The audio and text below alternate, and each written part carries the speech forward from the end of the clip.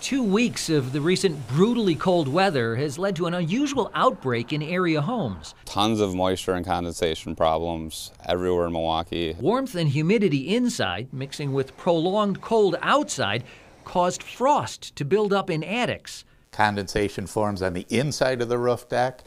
It's cold out, so it's frozen solid and we don't see it. And as soon as it gets warm, boom, we got water coming in the house. You are getting indoor rain in some cases, yes.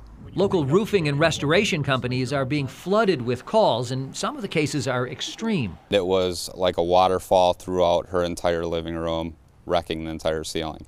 The problem is showing up primarily in homes that are poorly insulated and with attics that aren't well ventilated. And one of the real problems they're finding is that there are no warning signs. Homeowners may not be aware of the concern until it's too late. One mistake homeowners make is turning up the humidity on their furnace to combat dry air in the home.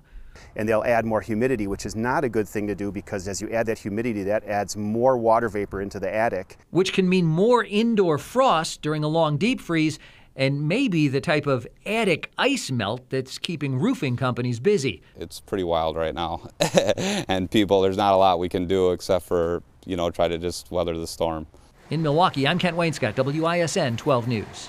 Another thing to watch out for, and even if you haven't noticed any water drops in your home, the experts say you should check your attic about once a year for signs of moisture, which can lead to long-term problems like mold.